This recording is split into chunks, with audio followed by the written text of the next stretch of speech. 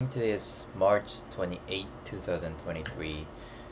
More in the morning, I practice English programming UX briefly. Um, today is Tuesday.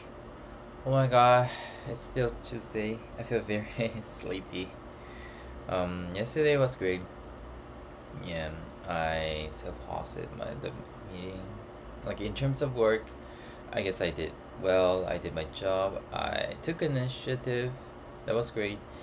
And uh, I cooked okonomiyaki, and which was partly success, I guess.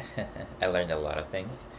Uh, I had a issue on PC, but I solved it, which was also great.